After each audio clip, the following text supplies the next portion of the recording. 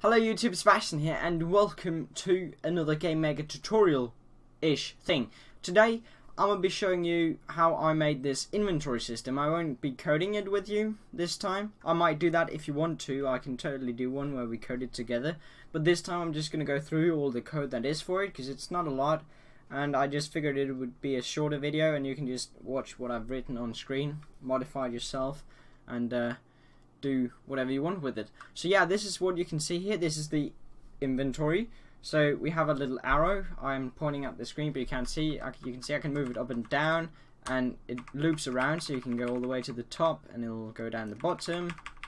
Then I can hit enter, and a random item will be put into this um, inventory. And as you can see, the uh, the stick can stack up to five times. The potions can stack to four times. Swords can only stack once because they're unstackable. So it has features like stacks, and as you can see when it's full and I try to add another one, it says inventory is full. Then I can use, which would which one was it, shift? Yeah, that's the one I binded it to, sorry. But if I use shift, I can use items if they have a use. So you can see swords has no use, sticks no use, but potions, they add 10 to this here. So that's like the health or something, that's just to um, like uh, visualize it. So you can see I can just get 10 and when it when you've used all the items it returns to 0. You can drop items. If I can, yeah, spacebar, so I can drop items and then of course new items will be added in. So that's pretty neat and that's what I'm going to be showing you how to do. So this is what it can do. It can use items, pick up items and remove items. So this is the uh, the object. Let's go into the create event here, and uh, can can I zoom in on the text here? Yeah, we can make it bigger. There we go. So now you can definitely see this text. Yeah, everything changed. Okay, so in here, um, this is just the create event. So let's go through it. The first one is the item script. Now I'm going to go through after. But first of all, this inventory works by having two arrays running parallel to each other. So I have an inventory array and an amount array. So these are parallel to each other. So amount 0 and inventory 0. That inventory 0 will be the item in that inventory and amount 0 will then be the amount of items that are in that inventory. So first of all, I make a for loop that says variable i equals to 0 and as long as i is less than 10 I will go up. And then I'm going to set the inventory at i so 0 through 9 and I'll set all of those to no one because we're going to have no item in them and I'm going to set the amount to 0 so this will basically give us 10 inventory slots. You can modify this number as how many you want. Then I have a variable for the position. This is for like the uh, choosing items and stuff so that's the position one. And then I have an HP variable, just as you saw for the potions. So, next up, we have the draw event. In here, I'm just drawing some uh, drawing that will uh, draw out the items. Actually, I think we're going to do that at last. Because we want to do the item script. So this item script right here, I'm going to show you this one. This uses a, uh, this, I actually made it a global array. You don't actually have to do that if it's in the same object. I don't know. I just did that. I don't know. It uh, is, isn't actually necessary for this, but I just sometimes like to have stuff like uh, these are all the items. I like to have them global so everybody can access the items. That might be nice. So I have an enum for all the different items. So we have sword, that's item ID number 0, potion has 1, stick has 2. Is that how that works? So the item right here is also the ID.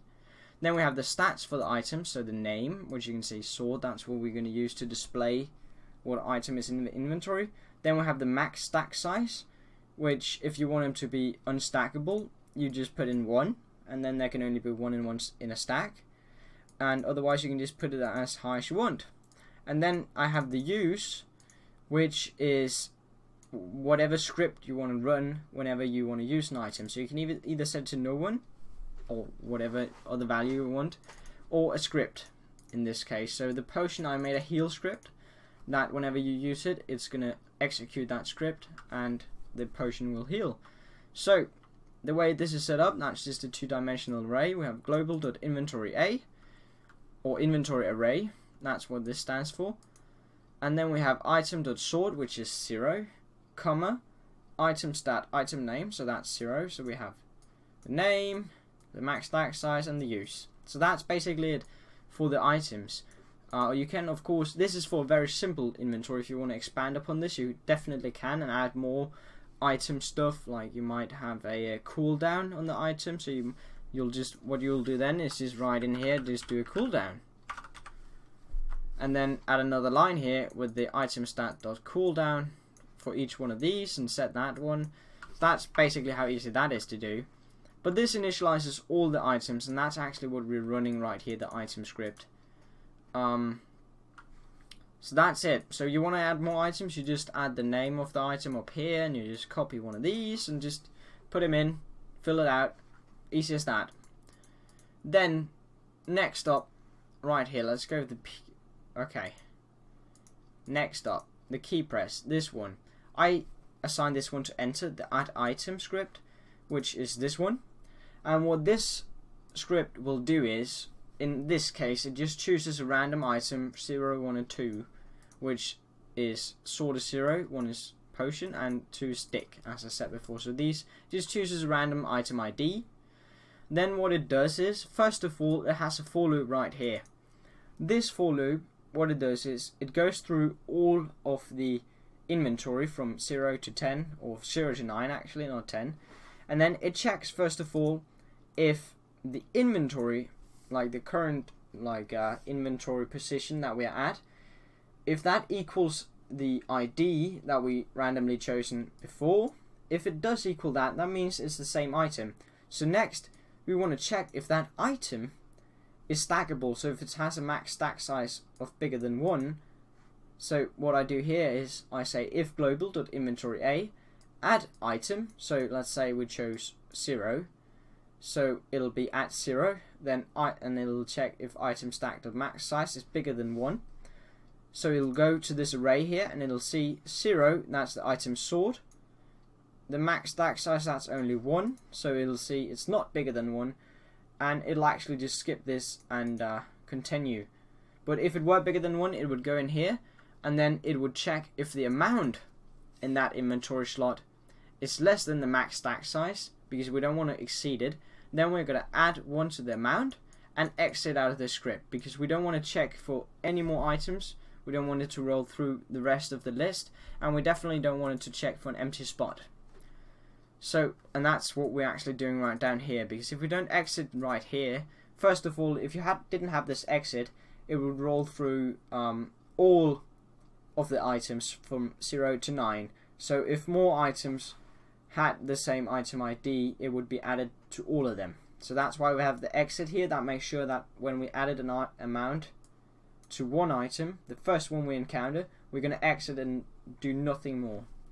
But if we don't find an item that is stackable, so if it isn't uh, stackable, and if we didn't add an amount, then we'll go to this part here where we just look for an empty item and put the item in here. So this one again loops through the whole inventory from 0 to 9 and then it checks if the inventory at i equals no one so if it's empty because we set it right here in the create event we set them to no one that means it's empty so if it is no one then the inventory at that position will equal the item and the amount at that position will uh, will uh, increase as well by one and then we'll exit out again. So if we find one that's free, we're going to populate it and then we're going to exit out. And otherwise, if we get to the bottom of this script, it'll just show inventory is full. You can do whatever. You can remove this if you want to. You can make it run some other code, whatever. So that's it. Next up, we have the drop item.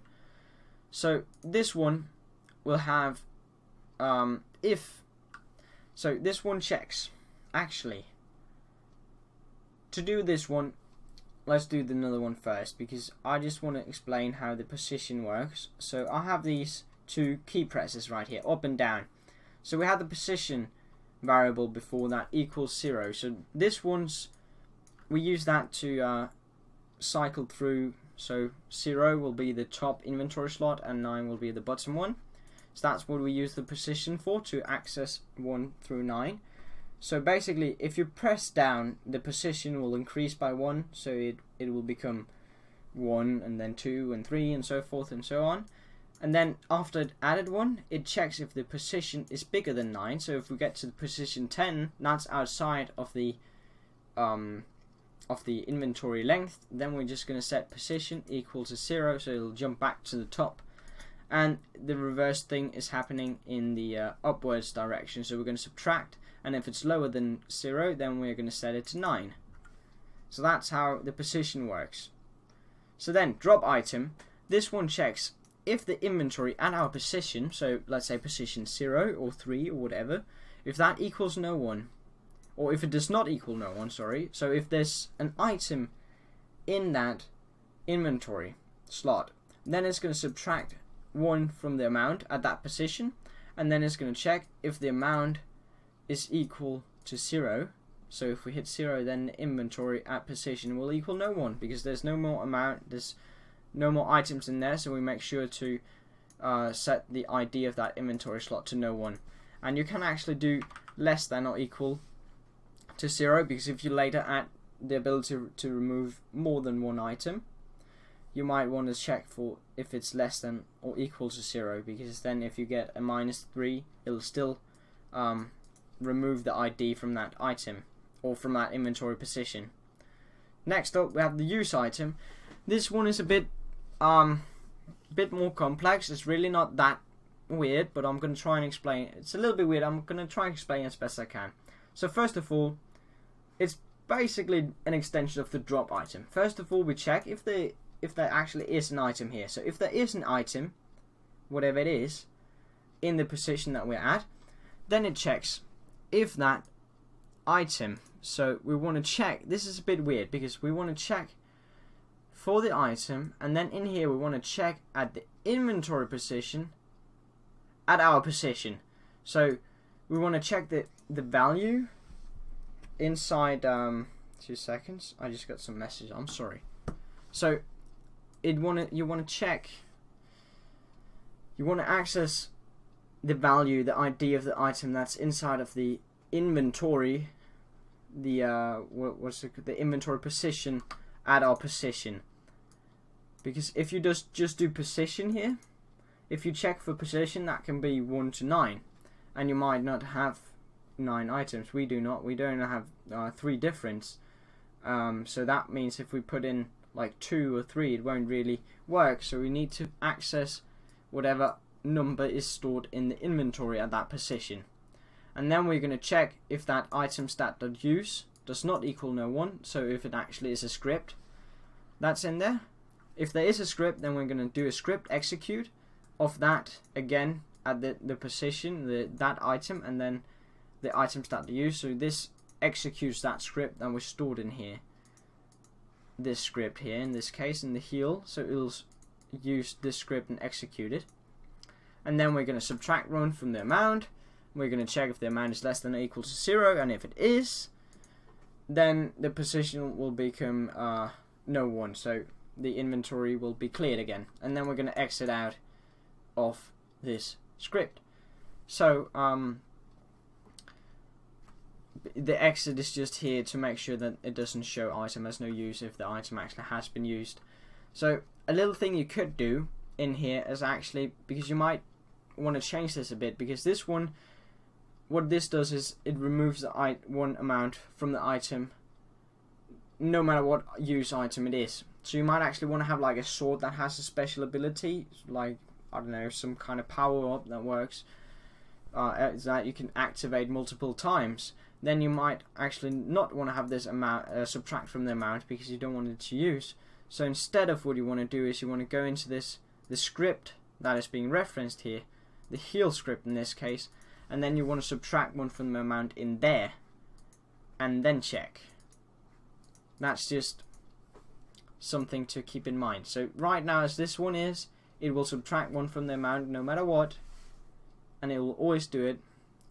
And to fix it, you can just, I think you would actually just be able to move this amount at position and put it into uh, the heal here.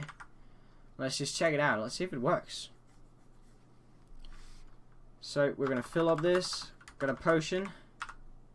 Uh, how do you use them again? Shift. Yeah, that works actually. So you can see it subtracts one from the potion. And it removes it and everything because we have one in here. And then if we had something else that wasn't a potion that we don't want to be used, then we just don't include the uh, subtraction of the amount. So that's pretty easy. And that is all you have to do to make this work.